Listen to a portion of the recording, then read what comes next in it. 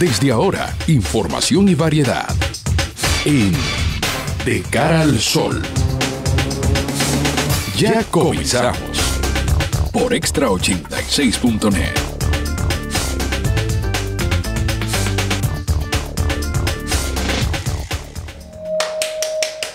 Muy buenos días, muy buenos días. Bienvenidos sean todos ustedes a este su programa de Cara al Sol.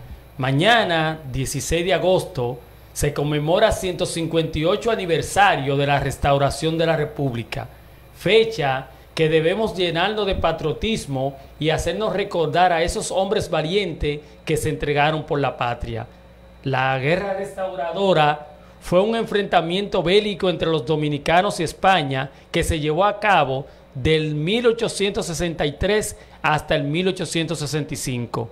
España había recolonizado a la República Dominicana luego que ésta librara batallas importantes contra los haitianos y se liberara del yugo opresor que mantuvieron durante 22 años y declararan su independencia en 1844.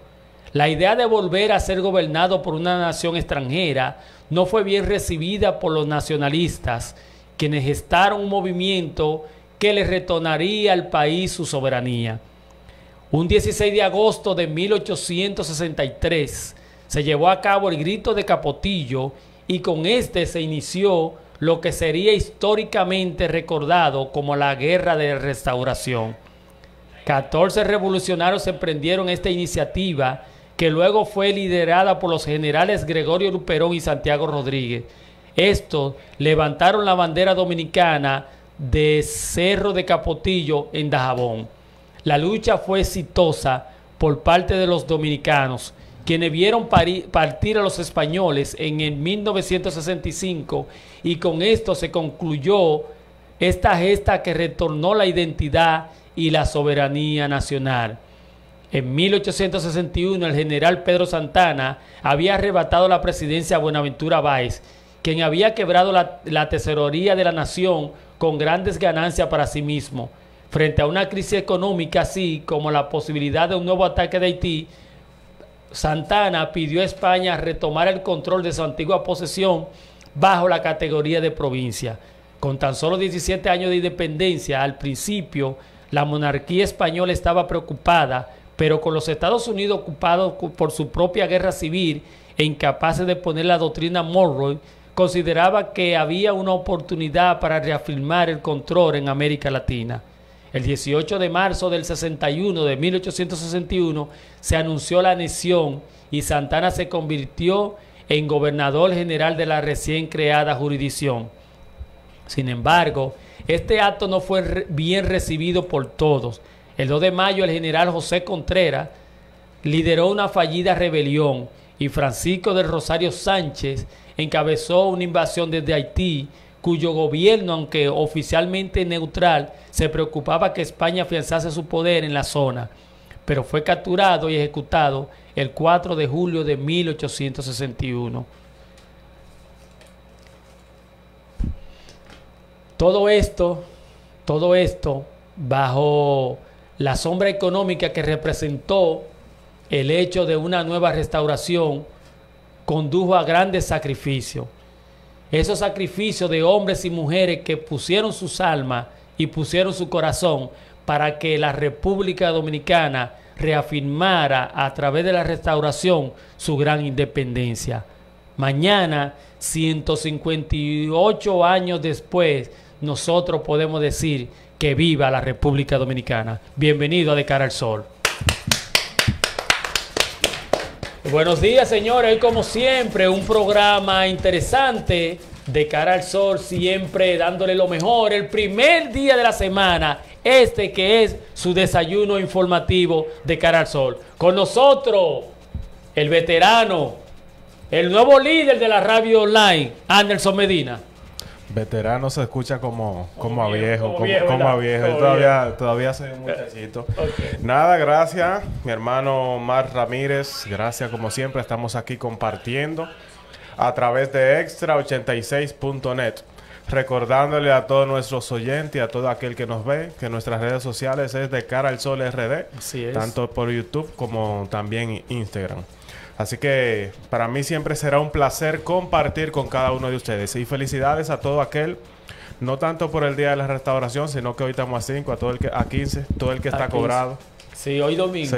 Hoy domingo no, hoy domingo no. Eh, eh, recordarle, en el día de ayer cumplió año eh, uno de los, de los controles máster más destacados del país y de la radio online, Ronald Pacheco. desde aquí, desde De Cara al Sol, felicitar al chamo, un joven muy inteligente, un joven que muy dinámico. Conoce el negocio. Sí, sí, sí, el chamo es de lo bueno, hay que apoyarlo. A Maduro, que por favor lo reciba de nuevo, pero nosotros como dominicanos hemos, hemos tenido como un gran amigo y buen consejero al señor Ronald Pacheco, el mejor DJ que hay en este país, Ronald Pacheco. Un aplauso para el chamo, donde quiera que esté con tu resaca, al lado de tu pareja José Alfredo, te deseamos lo mejor en, tu día. Eh, ahora vamos, antes del contenido, a dedicarle un momento a Dios. Este, esta mañana vamos a encomendarlo al Todo Creador con una parte espiritual a través de nuestro hermano Anderson Medina.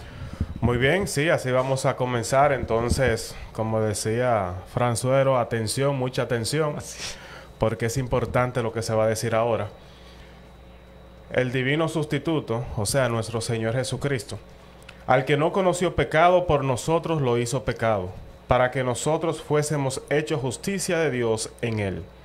A otro salvó, a sí mismo no se puede salvar, decían aquellos que estaban junto a la cruz, gritando que lo crucificaran.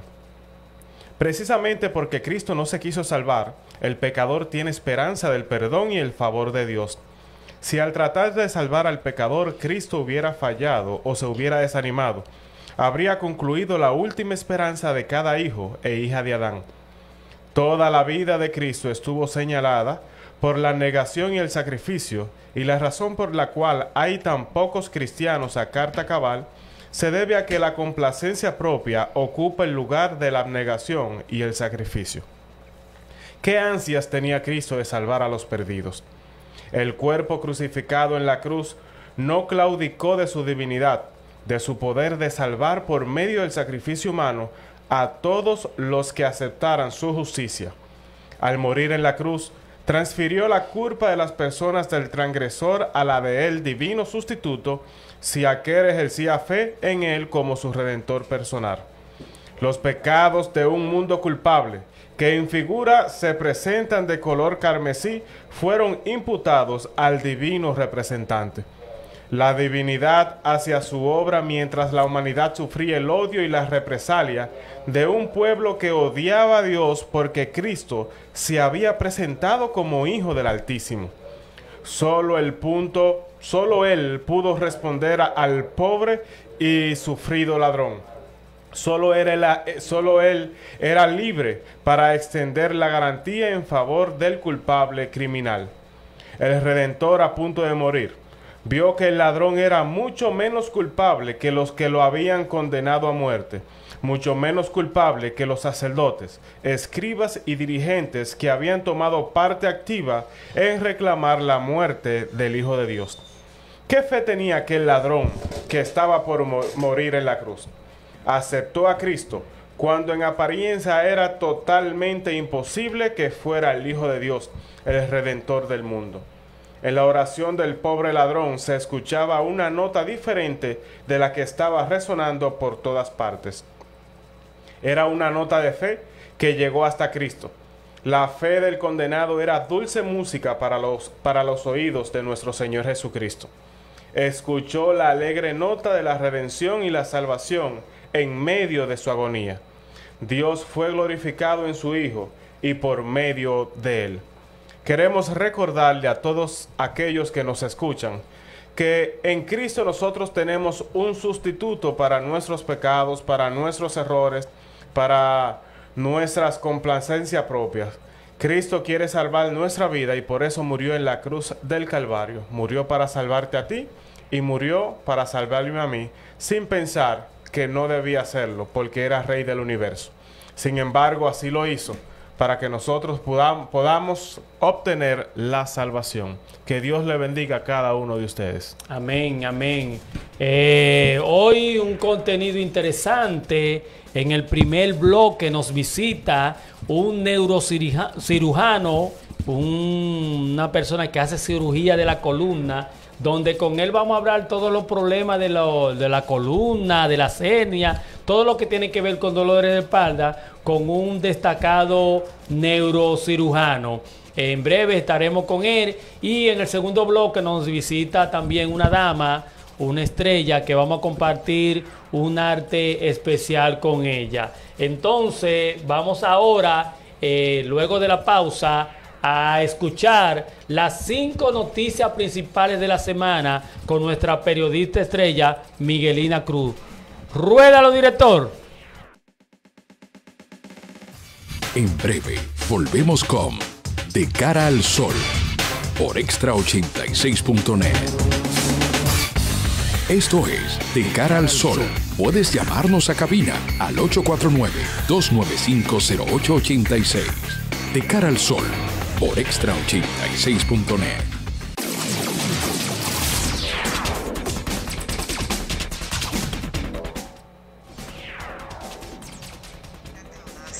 Agradecemos al Eterno por otro día más de vida que nos ha regalado. Reciban mi mejor abrazo. Estas son las 5 de la semana en su programa De cara al sol.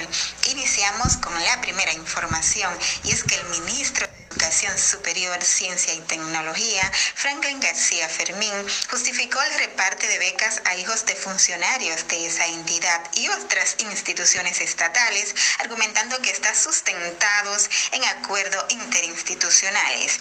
Otras de las informaciones que tenemos que el presidente de la República, Luis Abinader, instruyó a todos los organismos de socorro del país a tomar acciones inmediatas para salvaguardar las vidas de las familias dominicanas Dominicana ante el paso por la nación de un fenómeno atmosférico.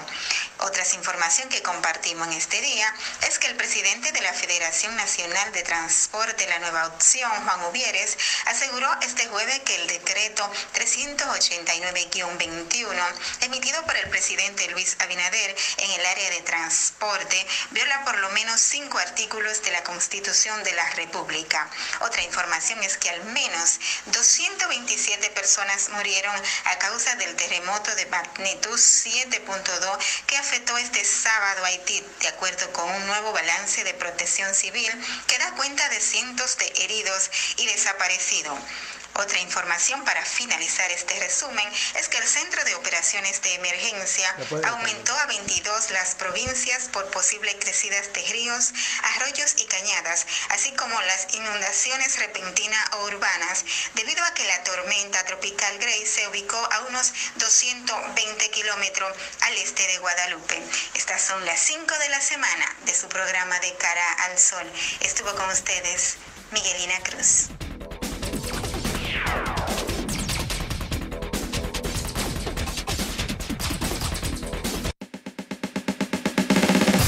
En breve, volvemos con De cara al sol por extra86.net.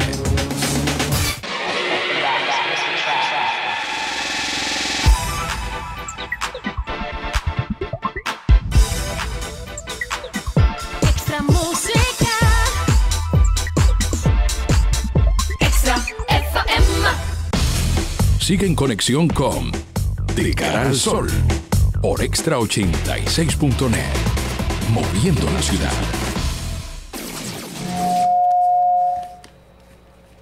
Estamos en el aire, continuamos, continuamos con este que es el desayuno informativo de Extra 86.net. Esto es de cara al sol. Recuerden nuestras redes sociales, de cara al sol RD, de cara al sol RD. Esta mañana el programa ha querido invitar una persona de gran importancia en el mundo de la medicina. Él es neurocirujano, egresado del Hospital Universitario de Salamanca, España. Posee doctor- doctorado en biomateriales aplicado a la cirugía de columna.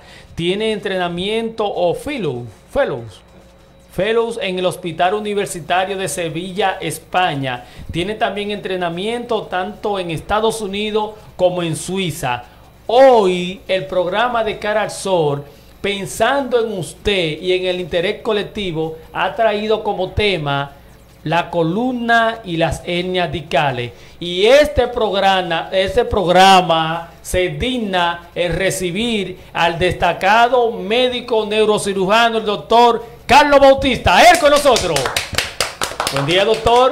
Muy buenos días, muchas gracias por la invitación. Gracias a usted por aceptarla. Doctor, eh, hay un gran, una gran cantidad de gente que tiene problema de la columna. Primero lo quiero saber qué, cuál, qué es la especialidad del neurocirujano, qué hace un neurocirujano, eh, cuál, qué es lo que usted ve, cuál es su ámbito médico y luego que usted me explique cuál es el origen de los problemas de la columna.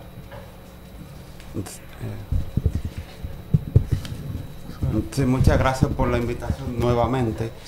Eh, sobre, la, sobre la pregunta, ¿qué es el neurocirujano? ¿Qué Sí. hace un neurocirujano? ¿Qué, ¿Cuál es el ámbito de trabajo del neurocirujano? Eh, lo primero que hay que decir que el neurocirujano, eh, o la neurocirugía más bien, es la especialidad que, que el médico realiza ¿no? después de haberse formado como médico en la universidad. Sí. Y es la especialidad que tiene que ver con lo que es cráneo y columna, sistema nervioso central, sistema nervioso periférico. Es una especialidad bastante amplia, es muy amplia, y es por dicho motivo que la tendencia es a la subespecialidad. ¿Qué quiero decir con la subespecialidad? Bueno, ya yo soy neurocirujano, pero como la neurocirugía es tan amplia, eh, vamos, a vamos a especializarnos en una parte en, en específico. Por ejemplo, patologías de la columna, enfermedades de la columna o lo que son las patologías, por ejemplo, vascular cerebral. Y así hay diferentes áreas. Está la base de cráneo, por ejemplo. Eh, está la neurocirugía, neurocirugía funcional, que son los neurocirujanos que tienen que ver con el Parkinson, por ejemplo. Sí. Eh, trastorno del movimiento. En cuanto a mi persona, eh, a pesar de que nos formamos como neurocirujano general, pues tenemos una inclinación a lo que es la patología de la columna. Ok. Eh, sobre la patología de las columnas, eh, también es bastante amplia, es bastante Sí. amplia porque hay mu- muchas eh, diversas afecciones en, en cuanto a las columnas, diversos problemas. Ya Pero ¿cuáles de- son los de más, origen- escúcheme que le interrumpa, doctor, cuáles son los más comunes y generales que le llega a usted como neurocirujano Mira, de la lo, columna? lo más común es el dolor de espalda. Dolor de espalda. Dolor de espalda. Dolor de espalda que podría tener diferentes orígenes. Pero nos vamos a quedar con el dolor de espalda. Entre esos orígenes puede estar la hernia discal. La hernia discal que es muy común. ¿Qué es una hernia discal? ¿Por qué se llama hernia, hernia discal? Lo voy a explicar de manera sencilla. Ok, sí. La columna está formada por diversos huesos. Sí. Esos huesos están articulados, no están pegados. Por eso nosotros podemos movernos, podemos mover, mover el cuello, la espalda, ¿no? Eh, tenemos esa flexibilidad de movimientos. Esto es gracias a que estos huesos no están pegados directamente unos con otros, sino más bien están articulados. Entre esas articulaciones tenemos el disco.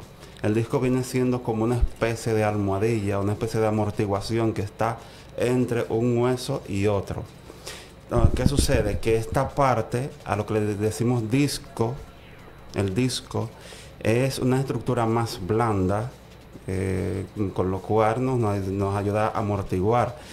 Eh, eh, dada estas características de ser más blando, también en el paso del tiempo va sufriendo, va sufriendo desgaste, diferentes alteraciones. Eh, en, en una de esas alteraciones es que puede sufrir algún tipo de rotura y salirse de su sitio. A lo que le decimos hernia discal. ¿Qué sucede? La hernia discal como tal no es una enfermedad como tal. porque de una manera u otra este disco con el paso del tiempo se va degenerando, se va desgastando. O sea que los Cuando viejos, se- los viejos, las personas mayores ya se le va eh, deteriorando el ámbito de la columna. Mientras más viejo, más desbaratado la columna Exacto, a los que le llamamos, a los que le llamamos en medicina eh, diferentes nombres, patología degenerativa, artrosis, osteoartrosis, ¿no? Eh, eh, eh, básicamente la artrosis son eh, más bien una degeneración de estas estructuras, principalmente de las articulaciones.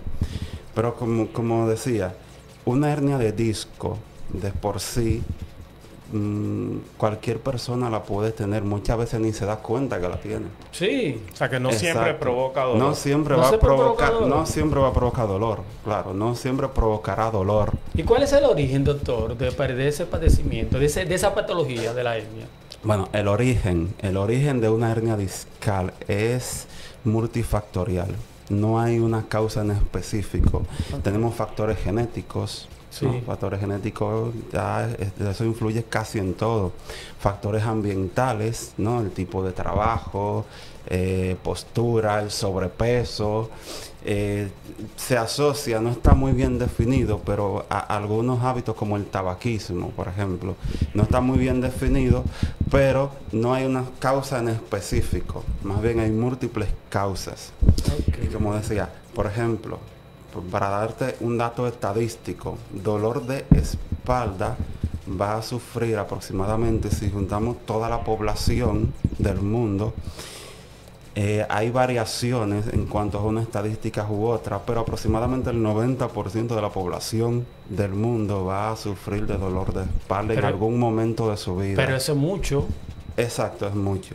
Pero, Es pero mucho. entonces eso es consecuencia eh, a nivel mundial de qué? Del tabaquismo, como usted lo planteó, de una postura. Es, eh, es multifactorial. multifactorial. Y, y es multifactorial. El dolor de espalda, como si. ahora, que no, no- no estoy hablando específicamente de la hernia discal. En Sí. este caso, cuando digo 90% de, de la población tendrá dolor de espalda en algún momento de su vida, estoy hablando en sentido general. No importa el origen, el dolor, el dolor de la espalda. El 90% de la población mundial tendrá dolor de espalda en algún momento de su vida. Ahora, muchas de eh, el origen de ese dolor de espalda muchas veces puede ser una hernia de disco, otras veces puede ser una simple contractura muscular, un origen muscular. Eh, ¿Qué es lo importante de todo esto? Eh, saber cuándo acudir a un médico.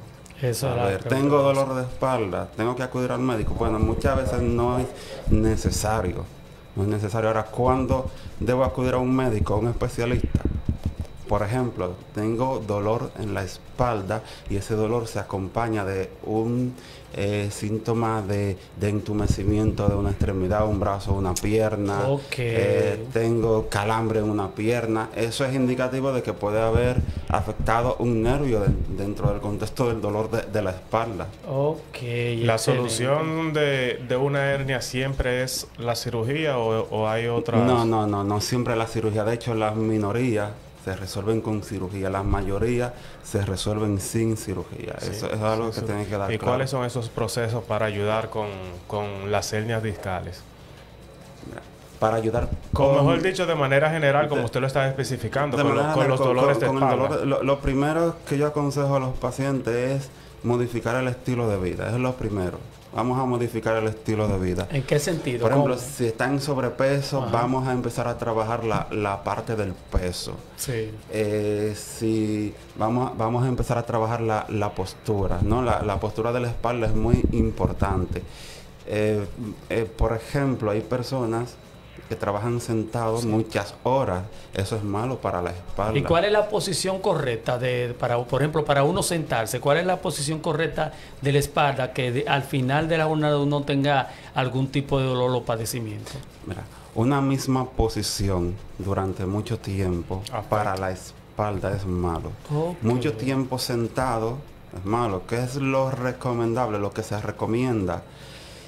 Si, si usted trabaja sentado muchas horas, cada cierto tiempo, Parados. Póngase de pie, y si es posible, de un paseo. Y lo mismo si trabaja parado. Exacto. Si exacto, trabaja parado, sentarse Exacto. de vez en Doctor, cuando. hay mujeres que tienen eh, los senos grandes y eso le crea problemas en la espalda. Por supuesto, ¿Cuál es, sí. cuál es, sí, cuál es, cuál es, cuál es el diagnóstico que usted nos establece con las personas que tienen el De- busto grande, por ejemplo? ¿Qué, qué, cuál es, De la- hecho- ¿Qué le aconseja? De hecho, eh, para, para este tipo de pacientes, cuan- cuando, cuando coincide, ¿no? Eh, que coincide el dolor de la espalda con, eh, con una ginecomastia, ¿no? Con, con un aumento excesivo de los senos. El- en algunas ocasiones incluso puede ser necesaria una reducción mamaria. Eh, no siempre, no siempre eh, hay que llegar a- hasta el quirófano, pero en algunas ocasiones sí.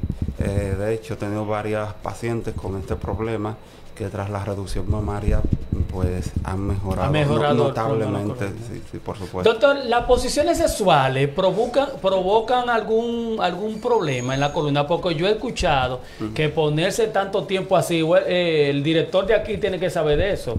El director de aquí, que es un, un asiduo visitante de cabañas, que se dice que, que la posición, la, eh, ciertas posiciones sexuales pueden provocar ese tipo de, de problema en la columna, ¿cierto? Eh, cualquier mala posición puede provocar, puede provocar eh, algún tipo de contractura muscular. E incluso puede provocar de manera continua algún tipo de, de daño en la columna.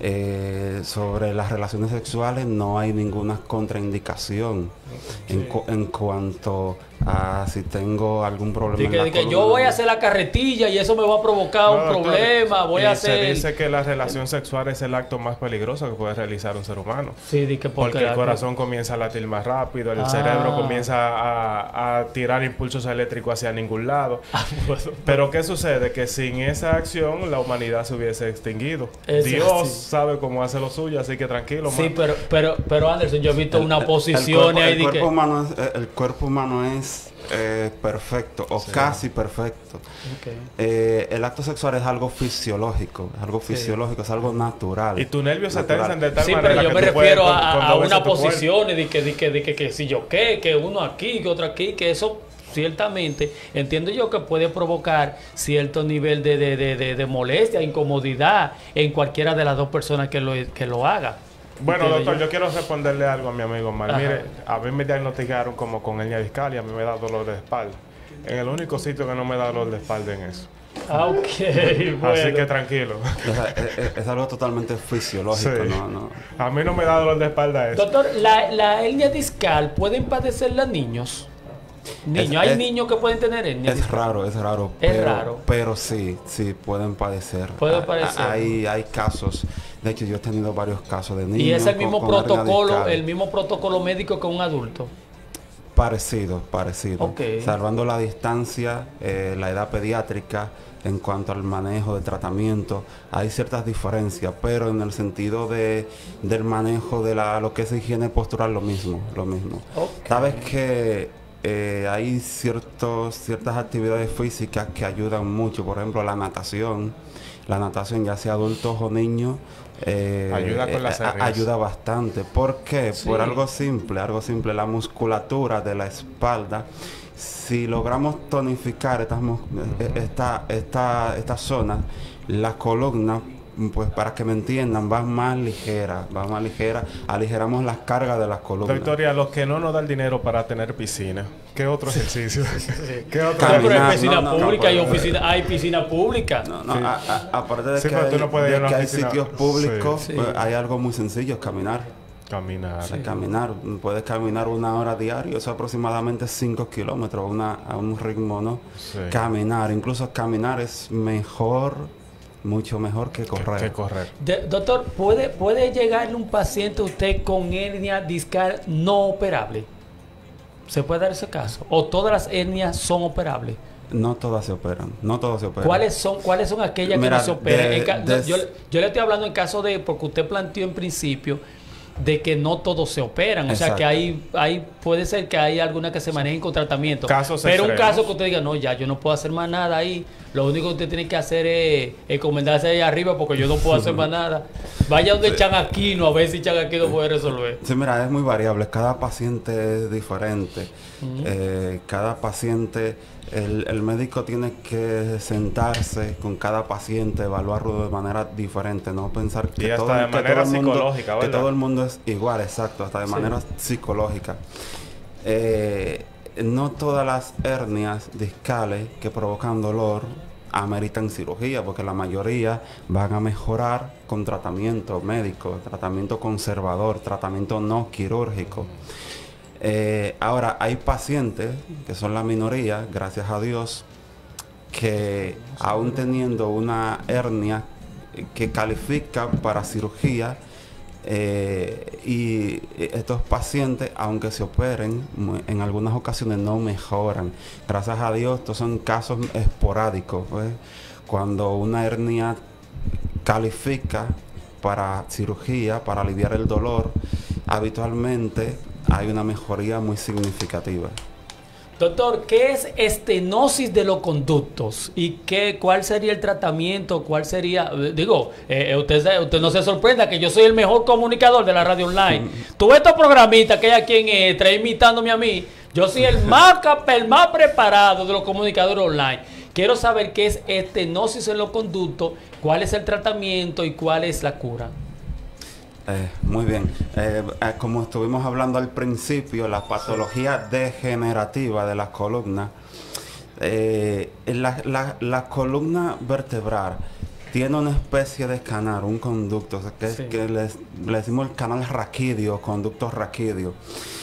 Por, a- por este canal se va alojando lo que es la médula espinal Sí. y desde ahí van saliendo los diferentes nervios a diferentes partes del cuerpo. Este canal o este conducto con el paso del tiempo, producto de la misma degeneración de las estructuras de los huesos y de los discos, va sufriendo un estrechamiento, se va estrechando, se va estenosando, Sí. con lo cual el espacio de estos nervios se va quedando más, eh, más estrecho y con lo cual va a provocar cierta inflamación en esta zona y van, estos nervios van a empezar a sufrir. ¿Hay eso, algún eso es lo estudio, que se, eso es lo que se conoce como estenosis. entonces. Estenosis de canal. ¿hay algún estudio ser específico que diga qué es lo que estrecha ese, ese conducto? La resonancia magnética. La resonancia magnética es el estudio ideal para diagnosticar esta patología. ¿Y cuál es, una vez hecha la resonancia, que usted verifica la patología, cuál es el tratamiento? ¿Qué, ¿Cuál es el Mira, paso a seguir a diferencia, a diferencia, cuando hay una estenosis o un estrechamiento del canal, a diferencia de, de otros tipos de patologías, las hernias discales que se pueden que puede tratar el paciente con terapias, medicamentos, a diferencia, estas son de las de las patologías que puede ser que la primera opción sea la cirugía, porque una vez que está estrecho ese conducto, no existe una pastilla para ampliar este canal, ¿no? Para ampliar el espacio por donde pasan los nervios, no existe una pastilla para esto. Eh, estos son de los casos que muchas veces la cirugía puede ser la primera opción. Pues, ¿Causa, claro. causa dolor? ¿Provoca dolor esa, esa Sí, patología? la- em, es más frecuente en la región lumbar, en las lumbares. Eh, va a causar molestias en las piernas, porque los nervios de la zona lumbar se dirigen hacia las piernas, lo que es el nervio ciático, etcétera. Eh, ¿Qué vamos a tener? Un paciente que va a tener dolor, puede tener dolor o no en la zona lumbar, pero sobre todo en las piernas, lo que le decimos claudicación neurógena. Sí. Eh, estas molestias que se pueden agravar cuando camina y a medida que pasa el tiempo se va agravando, se va agravando. Por ejemplo, si camina 50 metros sin dolor, se va acortando la distancia hasta tener dolor. Y en, en cuando, cuando se diagnostica este estrechamiento eh, de manera eh, que, no haya dudas que está estrecho el canal, ¿no? En la cirugía, en más de un 90% de los casos, sí que tiene muy buena respuesta con una mejora de la calidad de vida del paciente. Ok, dos preguntas en una, doctor. La primera es, una vez hecha la cirugía, la cirugía de eh, se va a hacer una cirugía de hernia discal, cuál es el procedimiento, es ambulatorio, qué tiempo dura y, y el tiempo de curación, cuál es eh, la, el proceso en la operación y post quirúrgico. Habitualmente la cirugía de una hernia discal es una cirugía con que, claro, entrar a un quirófano eh, eh, tiene sus... El hecho de entrar a un quirófano no importa el tipo de patología, puede tener sus complicaciones. Y gracias a Dios son mínimas las complicaciones, eh, son raras más bien, y la recuperación es muy rápida también para una hernia di- di- discal. Eh, la cirugía es de una técnica que no es muy compleja. Eh, y, y tenemos un paciente que en, al- en- en la mayoría de las ocasiones eh, le ingresó, en, estamos hablando que en 24 horas se puede ir de alta a su casa ca- caminando. ¿La anestesia es local o, o completa? Se puede hacer de las dos maneras. Lo que sucede es que nosotros preferimos anestesia general. Y no hay una por- anestesia, por com- bebi- no hay una anestesia bebida, tiene que ser esa puya obligatoriamente. No. ¿Cuándo es que los chinos van a inventar una anestesia que sea bebido un jugo? ah? Me bebí ese jugo y me quedé No, pero es que que- ser- la tiene- mascarilla o más. Sí, pero tiene que ser... en rea- en Sí, re- en cuenta re- hasta Tiene 10 que ser puya, obligado. Porque uno va, al- uno va al médico con una gripe, lo puya. Perdón. Uno va al médico con un dolor de cabeza, lo puya. Uno va al médico con el- lo puya. Y no hay una cosa que sea bebida, que sea como más fácil. En realidad la- hay anestesia inhalatoria, que es la que más se utiliza. ¿Cuál Esta es esa? mascarilla que ponen en el quirófano Sí. con un gas, ese gas Ah, tú ves, señores, va- vamos a darle. ¿Quién inventó eso? Vamos a dar un aplauso al que inventó eso. Porque O sea, tiene que ser puyo Cuenta obligado. 10. Pero, pero mm, de, de las inyecciones no se va a librar. Eso sí, porque siempre, Siempre hay que ponerle su principalmente el anestesiólogo necesita una vía eh, venosa Sí. para administrar algunos medicamentos. Doctor, eh, ¿qué posibilidad tiene un chofer, chofer de carro público específicamente, de padecer problemas de la columna? Es una de las profesiones de riesgo para tener problemas de columna. Sí. eh, eh, mucho tiempo sentado, mucho tiempo sentado, las vibraciones, las vibraciones, cuando suma esto de manera crónica con los años, es, un- es una de las profesiones de, Va ries- faltando- de va riesgo pasando para factura. padecer problemas de espalda. Eh, o- una cosa, hay, una cosa no significa que todo, todo el, eh, toda persona que trabaje o que tenga esta profesión va a padecer, ¿no? Sí. Va a padecer de un problema de, de- de hernia discal. No, eso no, no significa eso, pero sí es una de las profesiones de, de riesgo. Ok, excelente. Doctor, ¿y cuáles son aquellos medicamentos que más se recetan para la hernia discal y si es bueno. obligatoria? Señores, la- la pregunta de Anderson, bien. pero- Pues tú crees que este es el programa de las dos mujeres de los jueves, de, de, de esas dos mu- No, esto no esto es un programa de calidad, señor. Esto no es eh, poder que si yo qué, no, hombre, no. Eh, eh, el, el director de esta emisora debe, debe cerrar esta emisora. Después de los domingos aquí no hay más nada que se vea. De cara al sol, el mejor proyecto comunicacional. Tíralo, Anderson. Lo mejor Ah, medicamento, sí, doctor. Escúcheme, doctor, Esos lo que pasa. medicamentos que más usted receta y que lo que más, los más eficientes. Vamos a agrupar los medicamentos en, por grupos. Sí. Los medicamentos más utilizados son los AINES. ¿Cuáles Los son los AINES? AINES? Hay AINES que son de venta libre, como el acetaminofén, el ibuprofeno, que son de venta libre sin receta. Y hay otros que Esos son requieren- para el dolor, ¿verdad? Para el dolor, exacto. Sí. Para el dolor, para desinflamar. Eh, muchos pacientes con dolor de espalda se toman uno de estos medicamentos y ahí se acabó. El dolor mejora. Hay otros que no. Y son los pacientes que habitualmente llegan a mis consultas. Ok. Doctor, usted habló que la, la neurocirugía comprende el- el- las patologías de, de- de la columna, pero también de la cabeza. Sí. ¿Qué usted ve en la cabeza? O sea, ¿qué tipo de, de- de- de- especialidad usted maneja en el área de la cabeza?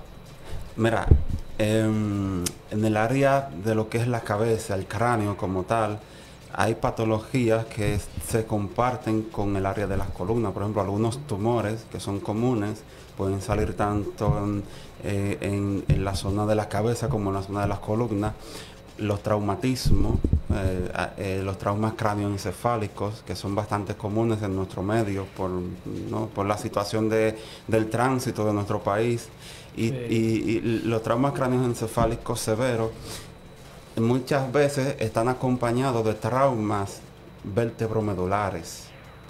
Aproximadamente hay un porcentaje, un, por- un porcentaje significativo de pacientes que sufren trauma craneoencefálico severo que también van a tener un trauma en la columna. Sí. Un trauma en la columna y algunas veces también en la médula espinal. La médula espinal es este, eh, esta estructura nerviosa que pasa por el canal raquídeo, el canal de la, de la columna. En cráneo hay otras patologías, hay tumores benignos, tumores malignos, patología vascular, aneurisma, malformaciones arteriovenosas. Hay multitud de patologías, es por esto que los neurocirujanos la tendencia es a especializarse, a subespecializarse en un área. Porque muchas veces es imposible abarcar todo.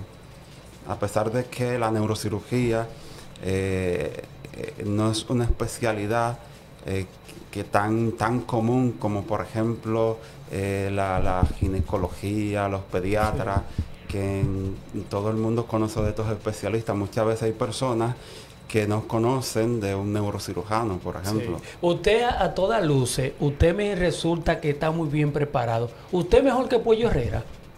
Ese es mi maestro. A eso maestro. Pero usted maestro. mejor, pero usted Ese- mejor que, usted mejor que el, el, el, el, el- el único cirujano reconocido y que se menciona es Este, Pollo Herrera. ¿Usted mejor que? El, el doctor Pollo Herrera es mi maestro. pero es, pero, pero hay alumnos que superan al maestro. ¿Usted mejor que Pollo Herrera? La, experiencia que tiene el doctor Puello no es superada. Pero usted no lo supera él. El, el do- el doctor Puello Herrera tiene una experiencia que no te imaginas.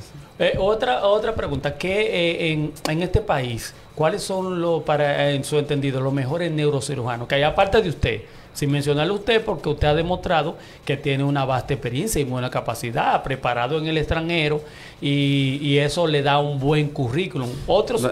neurocirujanos, por ejemplo. Mira, yo, yo no te voy a decir cuál es el mejor neurocirujano, pero ya, menciona- pero dentro ya, menciona- ya mencionaste el doctor, el doctor Puello Herrera, José. Joaquín, José Joaquín Puello excelente. Eh, más bien, sí te voy a- lo que te puedo decir es que la neurocirugía va avanzando con el tiempo. Sí. En esto lo más importante es la sinceridad. Por ejemplo, si yo como neurocirujano estoy enfocado en un área y me llega un paciente que me pasa, me pasa muchas veces, un paciente con una patología en la cual ya por, por, no por diferentes motivos, pues yo dejé de lado esa parte y me enfoqué en un área. Pues yo me comunico con otro compañero que, se, que está enfocado en esa otra área y yo le envío el paciente. Ética Sí. profesional, Yo le claro. envío el paciente, eso es lo más importante, la ¿Es pro- sinceridad. ¿Es Herrera Entonces, el padre de la, de la, de la neurociología en el país? no, el primer Herrera. neurocirujano fue el doctor Ney Arias Lora. Ney Arias Ney Lora. fue el primer neurocirujano. Y luego, después... el doctor Neyer doc- Lora eh, no murió no hace mucho. él, él- él lamentablemente falleció. Sí, fue Eh, regidor, fue de la mano derecha de Balaguer, el, Exacto, sí. el regidor del Partido Reformista, el doctor Ney. El doctor Muy malo como director de salud pública cuando doctor- Balaguer, malísimo como director de salud pública. Digo bueno, yo, o- o- una cosa, no, no, no tengo... no quita. Pero es el padre de la neuro, neuro- Ney Arialora. Ney Arias Lora Ok. fue quien, quien inició con la neurocirugía en el país. Ok, mire ese dato, la, señores. la neurocirugía es una especialidad, si la comparamos con otra, que es prácticamente nueva. Ok, prácticamente nueva comparando con otras especialidades. Perfecto. ¿Cuáles son las recomendaciones entonces que le haría a las personas que sufren de hernia discal, dolor de espalda? Aparte de ese cambio de vida, porque es que usted especificó ahorita, pero se escucha como muy, muy general. Muy genérico, sí, es Sí. eso. Recomendaciones, recomendaciones. Eh, hay que enfocarse en cambiar el estilo de vida. Si, si tiene sobrepeso, vamos a empezar a, a buscar un peso más o menos ideal. Algunas veces es difícil por diferentes motivos, pero de, hay que buscar la manera, ¿no? De, de buscar ese peso ideal para la espalda y para uno mismo. Eh, el, el tipo de trabajo, el tipo de trabajo, la postura en el trabajo, hay que trabajar esa parte. Eh, y si ya fue diagnosticado con una hernia de disco, seguir eh, con su médico las recomendaciones, ¿no? Eh, hay, hay otras especialidades que nos ayudan en estos casos, que son los fisiatras, los fisioterapeutas. Los fisioterapeutas juegan un rol muy importante con estos pacientes. ¿Estudian medicina o es una carrera aparte de la medicina? El Eh, fisioterapia. también, también hay fisioterapeutas que son médicos con especialidad eh, en esta área, ¿no? Eh, primero estudian medicina general y luego hacen una especialidad. Eh, pero hay otros que son los, técnicos que estudian una carrera a nivel técnica, ¿no? Como su nombre lo dice. Y hay otros que lo estudian a nivel de licenciatura en la, universidad. Ok, perfecto. Doctor, ve, finalmente, una persona que quiera consultarle a usted para qué institución hospitalaria o clínica usted labora, si ti- tiene redes sociales, para que usted de, de redes sociales, para una consulta, qué sé yo, una consulta privada, para comunicarse con el doctor Carlos Bautista. Sí, cómo no. Eh, nosotros estamos ubicados en la Máximo Gómez, esquina Pedro Enríquez Ureña, eh, aquí en el distrito. Y, también estamos ubi- ubicados en el Centro Médico Dominico Cubano. en Ah, el dominico cubano. sí. Eh, y a nivel ya público, estamos con el, con el maestro en Secano, con el Ah, usted maestro está en José Secano. Joaquín Puello. Yo estaba en Secano. Estamos en Secano.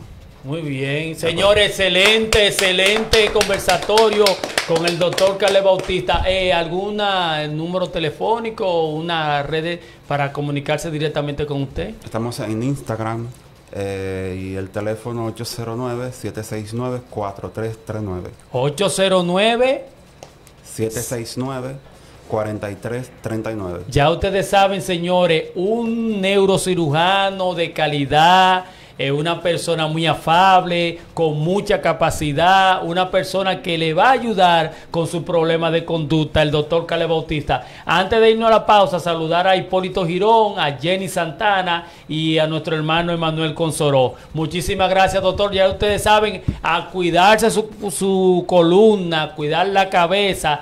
Visite un neurocirujano si tiene cualquier patología de la espalda y esa posición en la cabaña, por favor, elimínela. Señor director, disponga usted.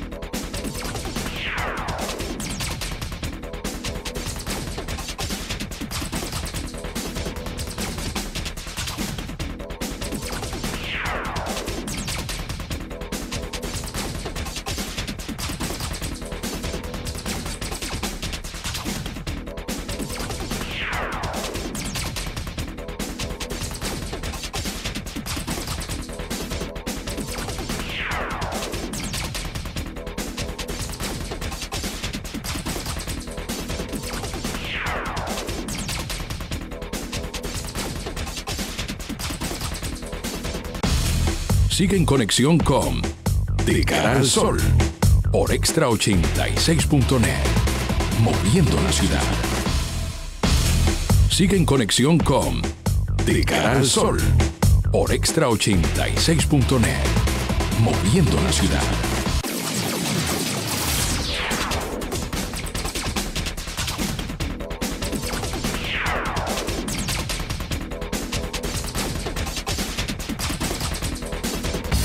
Esto es De Cara al Sol. Puedes llamarnos a cabina al 849-295-0886. De Cara al Sol por Extra 86.net. Estás escuchando De Cara al Sol por Extra 86.net. Moviendo la ciudad.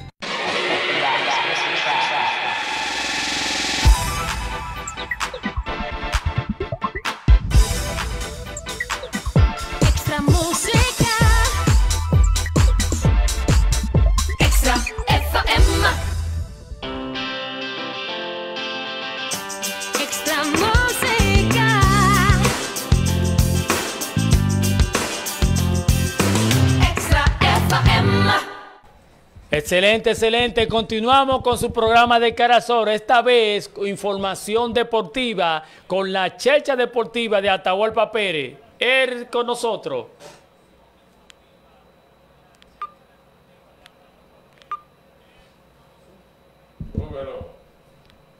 Ando para Chercha Deportiva. Y en el mundo de la motovelocidad, Howard gana la para el IndyCar de Indianápolis. Y en el ciclismo, Augusto Sánchez gana contra el reloj en el Campeonato del Caribe. Y quedándonos en correr rápido, la nuestra, María Paulino, es la tercera mejor del mundo según el ranking mundial de los 400 metros planos. De las grandes ligas, Nelson Cruz dispara home run en su regreso a Minnesota y los Rays ganan. Y los Bravos disparan cuatro jonrones en solitario y derrotan a los Nacionales de Washington. Y el nuestro, el hijo del inmortal de Cooperstown,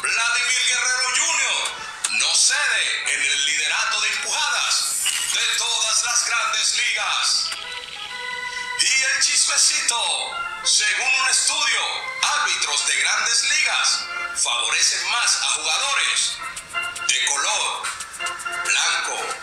Así lo presenta un estudio que publica una investigación de los últimos 13 años y yo diría desde que hay grandes ligas. Y volviendo al béisbol, no es nuestro, Adrian Beltré, entra al Salón de la Fama de los Rangers de Texas. Cambiando al mejor baloncesto de la NBA, Kawhi Leonard firma contrato multimillonario, el máximo para un jugador de su calibre. Esto ha sido todo. Soy Atahualpa Pérez de Chercha Deportiva, reportando los titulares de Diario Libre y ESPN. Y recuerda que corazón alegre, cara feliz, corazón enfermo, semblante triste. Proverbios 15, 13. Abul mi gente.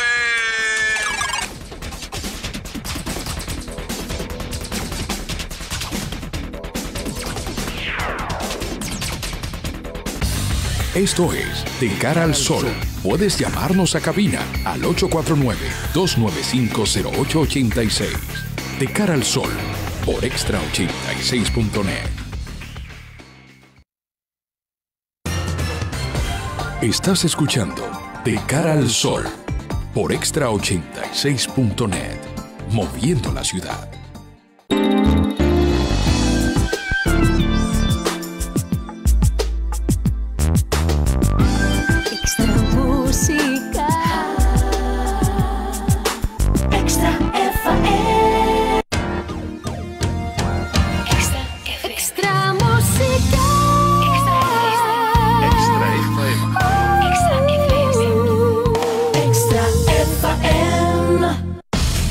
Sigue en conexión con De Cara al Sol por Extra 86.net.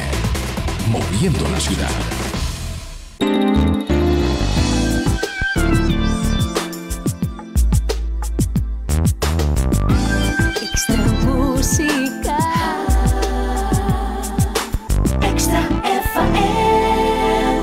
Continuamos con este proyecto comunicacional llamado De cara al sol. Como siempre, dándole la oportunidad a nuevos talentos para que vengan y den credenciales y expongan toda su calidad interpretativa. En el día de hoy nos visita una señorita que desde temprana edad ha tenido gran inclinación por el arte. La danza ha sido su punta de espada para ella mostrarse ante el país y ante el mundo. Vamos a presentarle a una joven bailarina, una joven bella, Gracias, gracias. una joven buena estudiante que ha venido a este programa a decir que en sus hombros descansa todo el futuro que tiene la danza dominicana. De cara al sol está feliz en recibir a Nachari Sánchez con nosotros.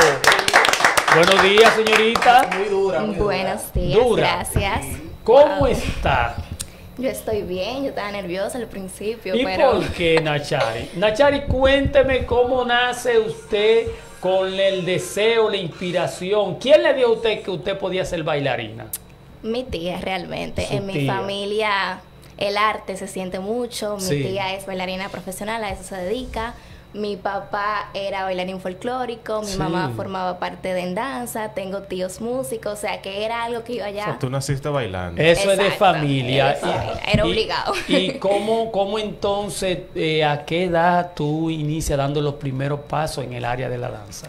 Yo comencé en Movimiento Centro a la edad de como 5 años, 6 Sí. años. Comencé con ballet clásico, que siempre para cualquier bailarín, así sea de urbano, el ballet clásico siempre es como la base.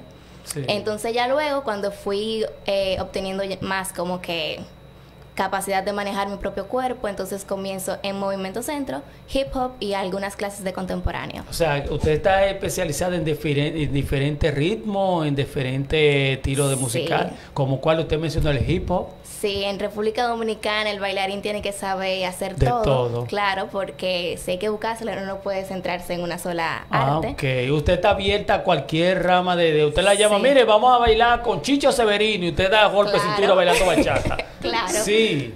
Sí. Ok, qué bueno. Una pregunta, eh, eh, ¿cuáles son actualmente, qué usted está haciendo, en qué escuela de danza está, cuáles son sus maestros y hacia dónde usted se proyecta? Bueno, realmente ahora mi principal objetivo es más en el área de la salud.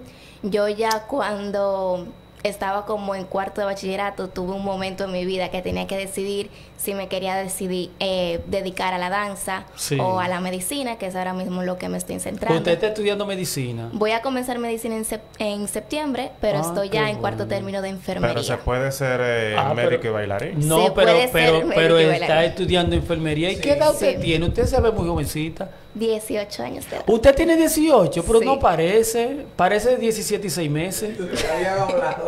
Habíamos hablado. 18. Sí, Habíamos 18. hablado detrás de cámara que Sí. hay personas que le dicen a ella que, o sea, se ve de menos. Sí, se ve, se ve una 17. menorcita. Sí. ¿Y de qué sector usted es? Bueno, ahora mismo yo soy de Arroyo Hondo, pero Arroyo Hondo. la mayor parte de mi infancia la pasé en Boca Chica. Ok. Ahí yo vivía con mi abuela. sí. Perfecto. Es playera. ¿Y, y Sí. cómo, y cómo- y qué, qué- cuál ha sido su experiencia? ¿Dónde usted ha bailado? ¿En eventos? ¿En conciertos? ¿Qué ha hecho? Yo he bailado en Cascanueces, por, dirigido por Pablo Beitía, Sí. pero en donde yo más bailé, que fueron alrededor de 15 funciones, fue eh, la obra Campanela por Stephanie Bauer. Ok, perfecto. Vamos a saludar a Patricia Ortega, que está en sintonía Uepa. con nosotros. Mi tía Eh, ah, esa es su tía. Ah, Ah, esa fue la, la que dijo que usted va a querida. Querida Ajá. Patricia, ¿cómo está usted? Mire, eh, eh, eh, Nachari, eh, ¿de dónde, de dónde, o sea, cuál es, qué usted está viendo en el, en el mundo de, de, de, de, de la danza? ¿Se está bailando bien? ¿A usted tiene alguna crítica? O sea, ¿cómo ¿Usted ve- visualiza cómo- ella? No, no, ¿cómo actualmente usted ve eh, que se está bailando bien? ¿Se está dando eh, danza de calidad en este país? Realmente los bailarines que hay en el país son de calidad. La única Sí. crítica que yo tengo es con el público. Con el no público. quieren eh, desvalori- desvalorizar el verdadero valor que tiene el bailarín. Quieren Sí. hacer como que cualquiera puede bailar, cosa que es que no es cierta. Lleva su Entonces. Lleva su trabajo, el bailarín, dicen ah, que la medicina dura mucho, pero yo comencé a los 5 años, el bailarín nunca termina de estudiar, Sí. el bailarín dura 15 años estudiando y después se jubila. Usted le mete O a todos. ¿Usted baila salsa? Sí. Y baila es salsa. salsera, Ah, eso es salsa. Y dembow, ¿usted baila Es dembow? una familia que el También, tío baila, la abuela baila, es una familia que Claro, baila. Y, anuncio, usted va a Cuando usted anuncio dice, sí, cuando usted dice, cuando usted dice que lo, no lo valorizan, eh, en- a usted le han pagado por los servicios que usted está prestando. O sea, por ejemplo, en el caso de si yo voy a organizar una patronal en, en Yamasá, usted coge 500 pesos y medio pica pollo para ir a bailar. Claro que no. Negativo. 500 pesos y medio pica pollo Nunca jamás. y una agüita fría. Menos. ¿Y qué cuesta? ¿Qué cuesta bailar? Por ejemplo, ¿cuál es su, su, su, su tarifa para hacer un baile, por ejemplo? Bueno, yo no tengo una tarifa porque la mayoría de las presentaciones que yo tuve fue con mi escuela, eran parte como Claro, de... Sí, yo entiendo. Exacto. Pero lo que se suele ver mucho es que, por ejemplo, eh, para bodas, cuando quieren buscar hacer actividades, piden 20 bail- bailarines con un ensayo de dos meses y luego quieren darle mil pesos a cada, ba- a cada bailarín. Y no son muchos mil pesos. No, No, son, son muchos. mil Para pesos dos meses ensayando y practicando. el bailarín No, digo paga yo, yo no alquiler. sé, yo no sé de bailarín. Ah, ah, el Muy bailarín poco. paga alquiler, desayuna, almuerza, cena. ¿Cuál es la tarifa que debería tener un, baila, un bailarín? Ah, promedio. ¿Cuál es? Un que- promedio, sí. ¿Cuánto tú entiendes? No, ¿cuánto- no, pero ¿cuánto tú entiendes que debería ganar un bailarín? Bueno, Es que Eso depende, ¿verdad? Porque tiene que... claro, porque que todas las actividades pero son diferentes. Por eso digo, puede Una tarima, una tarima en Dajabón, una tarima para usted bailar con, con Chicho Severino eh, en Dajabón, para usted dar golpe de cintura con una busita por aquí. ¿Cuál sería más o menos el costo? Bueno, lo primero es que me tienen que incluir mi transporte, Claro está, mi porque comida, te todo eso. no, hay, que, hay que ver qué tipo de comida, no es una... Claro, una comida buena, claro. Usted no coge un chofán, un chofancito para, para ir. En verdad sí, a mí me gusta. Usted el chofán. Ella se sí. adapta. Pero la comida fronteriza es buena, definitivamente. Claro, a mí me gusta, Pero pero, sí. ¿Cuál- qué- qué- ¿Cuáles son sus proyectos en, dentro de la danza? Bueno, la danza yo siempre la vi mayormente como un hobby, pero un hobby que me apasiona. Yo soy una apasiona. persona que no sale del teatro y nunca va a cambiar eso. Desde que yo veo que hay cualquier presentación o algo, yo soy la primera ahí en la. Qué primera bueno. fila. ¿Y cuáles son los, los, los, los- para usted los mejores bailarines que tiene este país? ¡Wow!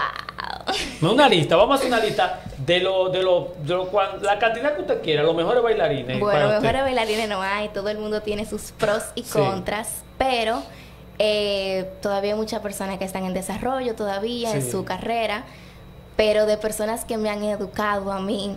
Por ejemplo, la, Bueno. la vieja arrugada, Patricia Escuasiati, es buena bailarina. la- Claro que La sí. vieja esa. Sí. Sí, sí. Sí, Es buena. son gente pionera aquí que nunca van a dejar de aportar a ¿Quién nuestra más? danza dominicana. Eh, bueno, todas las personas de la Compañía Nacional de Danza Contemporánea, todas. ¿Tú- ¿Usted tiene, usted tiene compañeros de, de, de, de, de, de- de compañía que son pájaros, de los varones, que son pájaros? Sí. ¿Como cuáles? Menciona el nombre de uno de ellos para yo.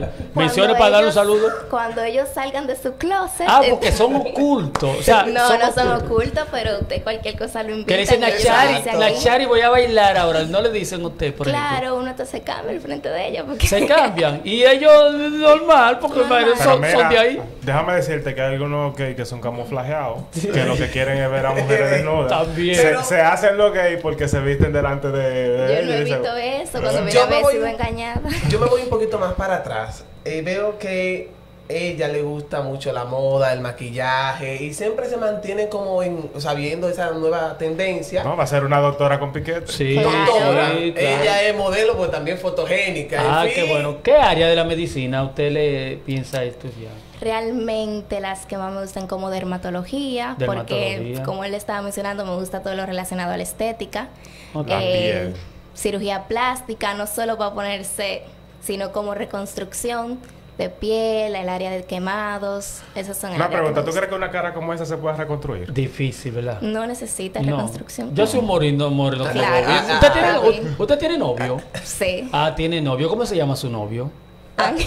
¿Eh? Ay, ay, la, la voy a calentar con, Patri- con Patricia que se No, llama no tía. voy a calentar, es público, pero Es como público. que... ¿Y qué? ¿Es bailarín él? ¿Es bailarín él? No, estoy estudiando arquitectura. Ay, está, Está va- bien. va- va- bueno, vamos Eh, por ahí. va No, por es- ahí. no hay mucha camino. diferencia en el ámbito posiblemente, personal. posiblemente su papá y su mamá también estén Excelente, armados. ex- excelente programa, No nos dice Richard de Jesús del programa Más Allá Radio. Richard, colega. Y más con esta mis invitada, una Eh, no, una invitada de estrella. Me gusta la, la, la, la- el aura que usted manda. Yo lo único que quiero es que cuando usted vaya a bailar, cuando usted esté en un concierto, usted sepa que Dios está por encima de todas las cosas y que Dios primero, que usted, ¿usted practica alguna religión? Yo soy creyente, ¿Usted pero creyente? toda- sí, ¿Qué pero cree? yo- ¿En Buda? No, yo soy creyente de Ah. Dios, del Dios Ajá. que todos creemos, Amén. pero realmente no he tenido la posibilidad como de No ha sentar- visitado la iglesia. No, la posibilidad, no, Yo la, o la sea, Sí, oportunidad. la, la- oportunidad. la oportunidad. Yo visito la iglesia, pero no tan regularmente. Pero como- tiene que tener un, un- un- para que tu vida tenga sentido, tú tienes que tener a Dios en tu corazón, Sí. necesariamente. Y esa medicina y esa danza va a ir por todo lo alto. ¿Qué tú quieres hacer en dentro? de- ¿Tú quieres ir viajar? ¿Quieres estar con los mejores? ¿Cuál es- ¿Qué, qué tú quieres hacer dentro de la danza? Porque te veo con mucha actitud y te veo con mucho futuro. Ya realmente dentro de la danza yo me imagino más en la parte del público como crítica. Ah, ok. Yo soy una persona que, bueno, me encanta discutir, me encanta llevar la contraria a la gente. ¿Tú escuchas música? Tú vas, a Sí. tú vas a ¿Qué te, política. qué te gusta? ¿Qué te gusta? Hay política en mi ¿Qué familia. te gusta de la música? Eh, bueno, de la música ¿Qué- qué- qué- clásica. sí, qué te- no, de la, la clásica, de igual, la que tú escuchas. Bueno, es que ¿qué yo te- El- el género que sea. más te gusta. Yo escucho ¿El que lo que sea. Bueno, yo escucho mucho pop, música Escucha pop. clásica, dembow, sí, todo. ¿Has escuchado bachata? Claro. yo Desde Romeo eh, hasta mi bigote huele a ti del chaval. bueno, yo escucho bachata, salsa, Pero, lo que sea. ¿Has lo que me escuchado mi bigote huele a ti? Bueno, no. ¿No has escuchado esa bachata? Cántame un ching ahí, cántame un No, ching. que yo no me la sé, pero, pero se dice que eso es un, Bueno, que es un clásico, que es un clásico eh, literario. Mi bigote huele a ti. Bueno, tal vez si le escucho yo le digo, porque tampoco me la sé. ¿Eh? Pues no, no. Eh, mire, eh, nosotros de este programa queremos desearle todos los éxitos. Eh, Gracias. de verdad que esperamos que Dios la siga acompañando en su carrera. Vamos a tener una gran bailarina, vamos a tener una gran doctora y que todo lo que usted haga, desde el principio sí, le dije que ponga a Dios, su familia, no vote a su novio cuando usted sea bailarina profesional. No, o No, lo vote. Que ese que le- eh, a ese, ese que le ha sacado su picapollo y su helado merece también gozar, gozar cuando bueno entrevista. oye lo que yo he escuchado por ahí, que el novio del, del estudiante no es el esposo del profesional. Así es. Ay, Bueno, no sé. Mira, Obama. No Usted lo quiere mucho. No usted lo quiere necesariamente mucho. tiene que Sí. ser Mire la cámara, mire la cámara. Entonces, dele, dígale, mirando la cámara allí. esa es tu cámara. Dígale, ¿cómo se llama él? Una, hay una musiquita de ahí. de- de- Oye. dígale No, hay algo, que dígale. decir eso en Diga- público, No, pero, pero, pero, pero, pero, pero ese es su novio. Sí. Dígale, Claro. dígale lo que usted le yo dijo le digo, la yo le digo última que vez. venga para que lo entrevisten No, a él. pero porque- que, que- algo que él quiera, él lo está viendo, él Sí. quiere que, que, que, que Nachali le ay, que usted está enamorada. ¿Qué tiempo tiene de amores? ¿Qué tiempo tiene de amores? Unos años ahí. Unos años. So ¿Se piensa casar con él? No sé, yo no. que- Oye, no sabe. pero a mí me hacen esa pregunta. Que si me Es que quiero no casar estoy a mí, No, pero dígale yo- algo. ¿Cómo que se llama él? Lo ahorita lo busco. Bueno, a él. Bueno, bueno. En este momento, la futura doctora y bailarina Nachali Sánchez se va a dirigir a dirigir al bombón de su vida. Tírele a Nachali. Ay, Dios Tírele a mío. Nachali ahí. Dígale algo. que- él tiene que venir y hablar así. Pero dígale algo que él está Vamos. esperando. No sea tan Se así. llama Ángel. Ángel, dígale a Ángel Sí, ahí, pero- mirándole ahí en la cámara. Dígale ¿Y que. qué le digo? Por usted su novia. ¿Qué le sé. Yo no le puedo decir nada. Dígale usted. Dile, te estamos dando seguimiento. Ya, eh. Exacto, del está tamaño de chequeando seguimiento, aquí. cualquier cosa que pase, yo lo expongo aquí. Ah, ok. Nachali, eh, eh, eh, si alguien quiere requerir de su servicio como bailarina, algunas redes sociales donde la podamos Hay un ver. representante, un manager. Bueno, yo donde más me manejo es por Instagram. Instagram. ¿Cuál Me- es su Instagram? Me puede encontrar como Nashari Sánchez, mi Nachari nombre. Sánchez. Y mi username es Versace. Username, o sea Ah. que ah, eso en inglés, no, No, no, usuario, no. no, username. El usuario Ah, el usuario, ok. Versace, pero más fácil Nashari Sánchez. Bueno, para nosotros ha sido un privilegio contar con su presencia. Le auguramos los mejores los éxitos. Que Dios la conduzca en cada paso que usted dé en su vida. Usted Amén. proyecta ser una gran bailarina, una gran médica. Y su Gracias. humildad De lo verdad demuestra. que sí, de verdad que sí. Le deseamos lo mejor a usted y a toda su familia. Señores, aquí está la nueva estrella de la danza, Nachari Sánchez, de cara al sol. Continuamos, director.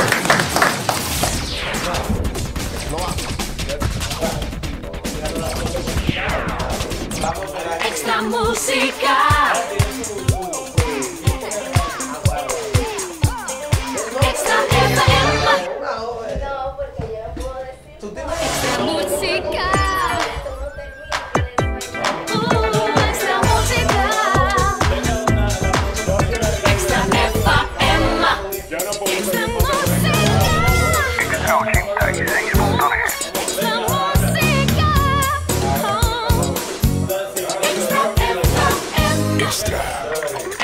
Música.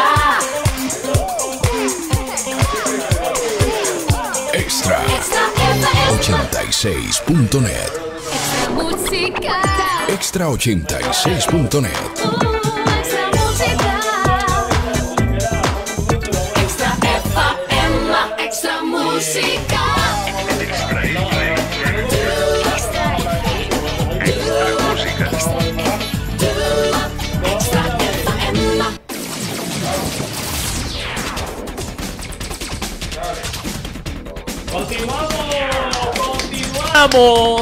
con el mejor proyecto comunicacional de la radio de hoy por Extra 86.net, moviendo la ciudad.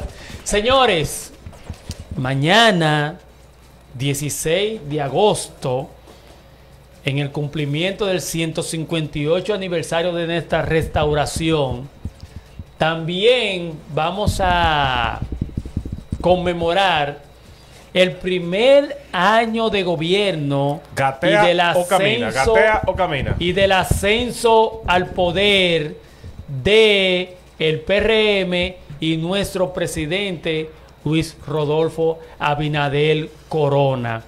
Un año de retos. Y Leonel Reina. Eh, un año de, de retos, eh, un año de expectativa, eh, hay realizaciones, pero yo quiero que sea usted el que llame por WhatsApp 829-514-6160, 829-514-6160, me llame y me diga cuál ha sido su impresión del primer año de gobierno del PRM. Ahora, yo te diré algo Ajá. con relación a este tema. Y tiene la primicia que por aquí, que, o sea, el Sí. primer programa que toco este tema. Y yo valoro la gestión, pues, de primer año del La presidente. primera opinión, sin llamado, man, Sí. eso así, primera opinión. ¿Eh? Sí. Primera opinión. Así es. Valoro este año de nuestro querido presidente Luis Abinader. Una gestión, yo digo que excelente, con mucha alta más que baja. Otra alta y bueno, otra que baja porque un gobierno nunca será perfecto.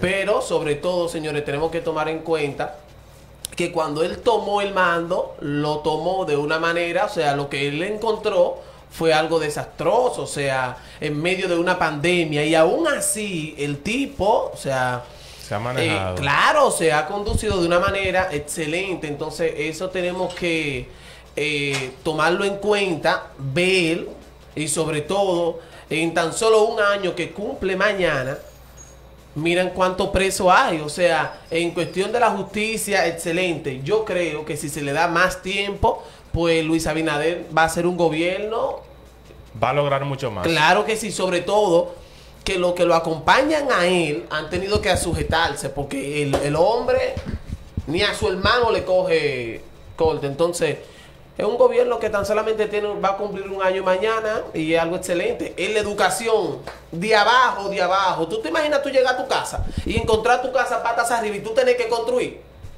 donde, donde solamente te queda un mes para ya tú iniciar la educación. O sea, fue algo, espérate, vamos. Y realmente salieron a flote. Ok, Anderson, ¿cuál es su valoración del primer año del presidente? Bueno, yo también que he considerado que la gestión de, de nuestro presidente Luis Abinader ha sido bastante buena en el ámbito de la transparencia, Sí. ya que nosotros no solamente venimos Sí. de la pandemia, la COVID-19, sino también de una pandemia de lo que es la corrupción. Tú sabes que nosotros pasamos por mucho en cuanto a que los presidentes que han pasado nunca ven la corrupción.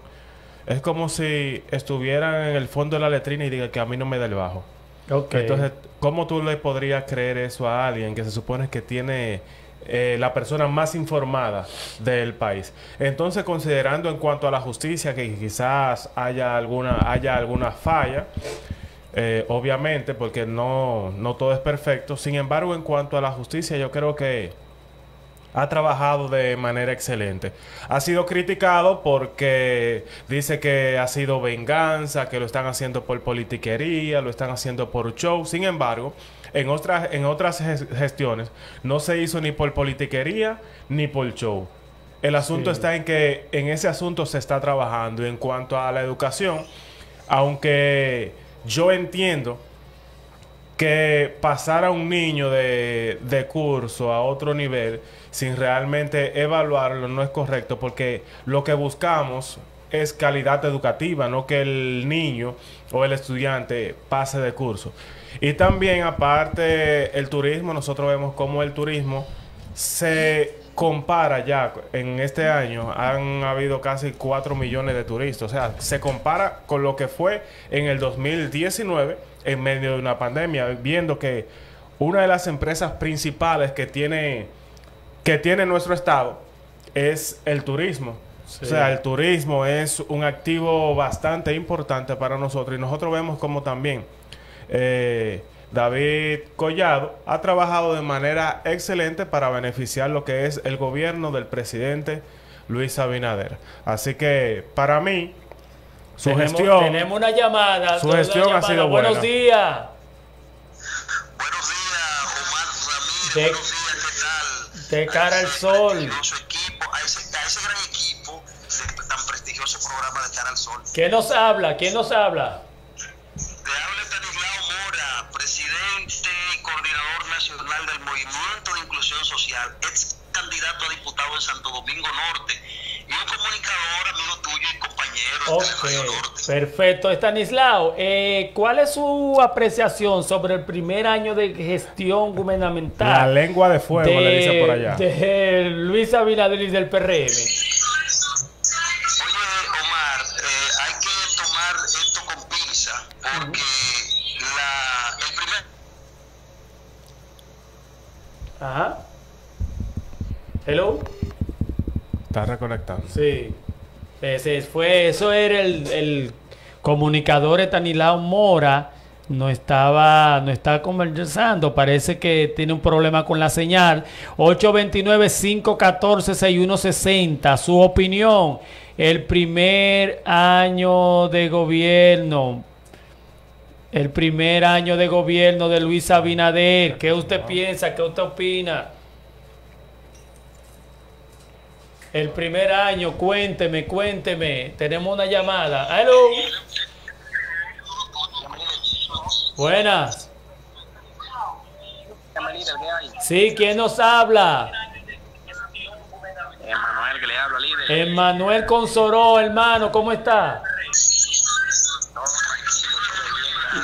Líder, una pregunta. ¿Cuál es su apreciación sobre el primer año de la gestión del PRM y Luis Abinader?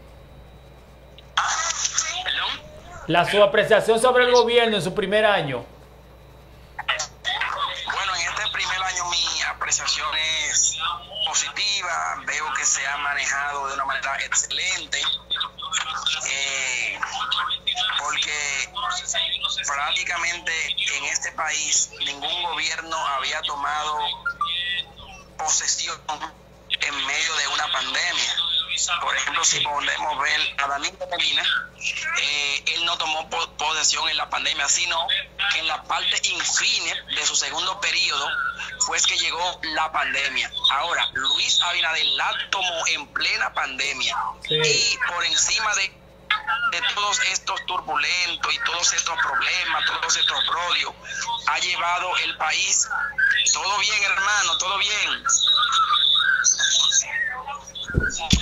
Entonces, eh, ¿resulta positivo para usted la gestión de Luis hasta ahora? Claro, mi hermano, claro. Luis. Abinader ha sido un gobierno eh, exitoso que ha contrarrestado la corrupción, la economía por encima de tanto dinero que se ha tenido que invertir Perfecto. en la COVID-19, la vacuna, eh, la tarjeta que ha habido que inyectarle bastante dinero para que las personas puedan abastecerse de los alimentos. Por encima de que se ha gastado mucho dinero, él ha podido mantener el país y todavía él mismo está a flote. Pues gracias, hermano. Gracias por su apreciación. Vamos a recibir la última llamada ya para despedir. Ya, no hay tiempo. Ah, bueno, vamos a, a recibir, vamos a continuar con Estanislao, que tenía una apreciación. Y finalmente decimos lo que nosotros entendemos, que antes, an- antes que entre la llamada, decir que para nosotros el gobierno de Luis Abinader eso ha sido un gobierno con muchos precedentes. Eh, Luis, el hecho de nombrar una procuradora eh, independiente y que estén presos gente que nunca eh, nosotros íbamos a imaginar preso, nunca. marcharle a un ex procurador, marcharle a senadores, a diputados. El mismo, los mismos hermanos del presidente. la- a hermano del presidente, eso nos da tranquilidad. Hay ciertas ciertas cositas que a veces nos luce como medio improvisación. Eh, no he estado de acuerdo con la cantidad de préstamos. Las excusas por los préstamos a mí no me convencen, pero ha sido una cantidad exorbitante de préstamos. Se, se pudiese justificarse, pero en otro estado que no sea la pandemia. De todos modos, eh, nosotros como dominicanos debemos sentirnos orgullosos de un presidente más humano. Tenemos un presidente como que está más cerca de la gente Escucha y habla. que entiende más, que no es un faraón y que vamos a pedirle a Dios que siga acompañando en su suerte como presidente a Luis Abinader, que lo proteja a él, a toda su familia y al pueblo dominicano. Finalmente, antes de despedirnos, señores, vamos a unirnos todos en oración. Eh, vamos a, a apoyar, vamos a ayudar a nuestro hermano vecino país de Haití. En el día de ayer un terremoto de magnitud 7.2 azotó el vecino país de Haití. Vamos a seguir como los hemos hecho apoyando a Haití. Que Dios le bendiga hasta la próxima Hasta semana. la Esto próxima. es De Cara al Sol. Ruédalo, director.